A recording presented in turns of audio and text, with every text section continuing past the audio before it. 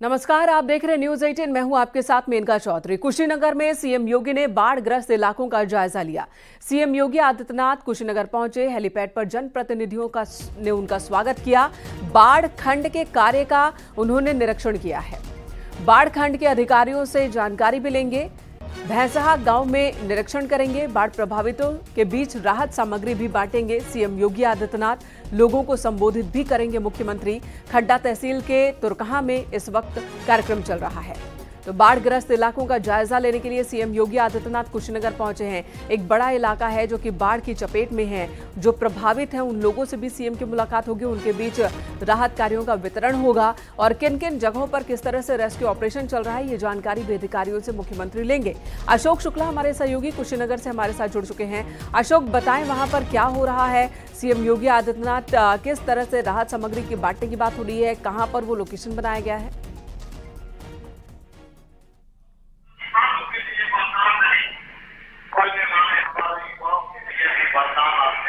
अशोक, आवाज़ मिल रही है तो ये बताएँ कि सीएम योगी आदित्यनाथ बाढ़ प्रभावित लोगों से मिलने पहुँचे हैं, पूरे बाढ़ ग्रस्त इलाके का जायजा ले रहे हैं।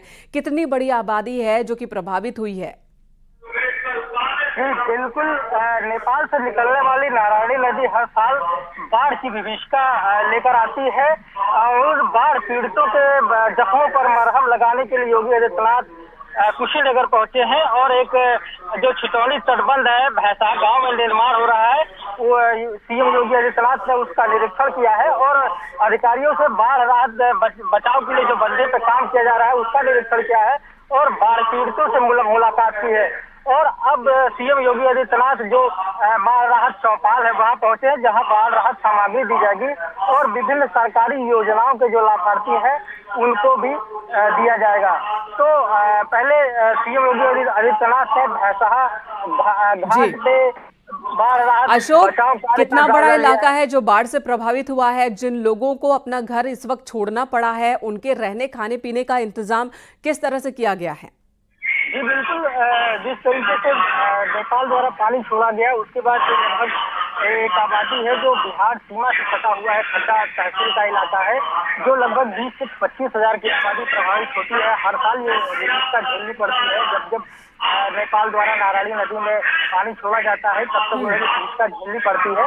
तो इतनी आबादी के लिए जैसे बाढ़ आई, उसके बाद तत्काल जिला प्रशासन ने सचेत होते हुए सबसे पहले उनके ऊँचे स्थानों पर पहुँचाया और उनके खाने पीने का इंतज़ाम किया। क्योंकि शासन का भी स्पष्ट निर्देश था कि बाढ़ बाढ़ पीड़ितों की मदद के लिए किसी हर संभव मदद की जाए। जो लोग वहाँ पहुँचे हैं जो बाढ़ प्रभावित हैं जो सीएम का इंतज़ार कर रहे थे उन लोगों का क्या कहना है? उन्हें क्या उम्मीदें हैं मुख्यमंत्री के पहुँचने से?